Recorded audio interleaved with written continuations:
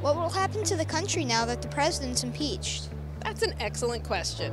Well, there are two options. Um, what impeachment is, it is uh, like identifying that an individual has committed a wrong. Um, and that wrong doesn't have to be a criminal act. It could be just something, doing something that um, is not in the best interest of the country or not befitting or appropriate for the job that you have.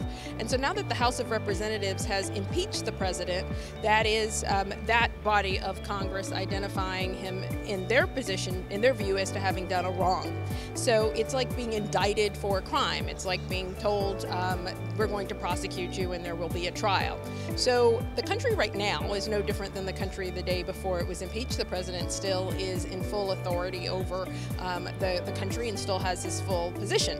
Uh, but the next stage will be for the Senate to conduct a trial. And were a majority of those in the Senate to um, decide that the president um, has committed these wrongs, um, he could be removed from office. And so that removal um, would be what would um, change things quite a bit. And so then the vice president would become the president. Every reason, we have most reason to think that that would not happen, uh, that there's not going to be a sufficient number of senators uh, to remove the president. But that's an excellent question. How long have you been teaching the Constitution? I've been teaching the Constitution for about 16 years or more. And before that, I was a lawyer and I did civil rights work, and so I litigated constitutional issues.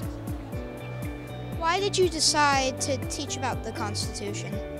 I decided to teach about the Constitution because I think it's a very important topic. Um, I think all Americans, I wish I could teach constitutional law to a lot of people who didn't even go to law school because I think all of us should know something about our Constitution. I think it's um, important if you're going to be a good citizen to know uh, what makes this country a democracy and what keeps us free.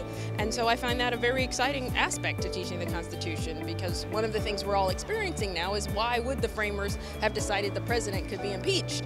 And the reason they did that wasn't to punish the president, but instead to keep us free and to keep us from a president um, acting like a king. And so it's a really unique aspect of law to teach because um, I feel like I'm teaching my students not just what they need to know to pass the bar exam or to be good lawyers, but to be good American citizens. Thank you for your time.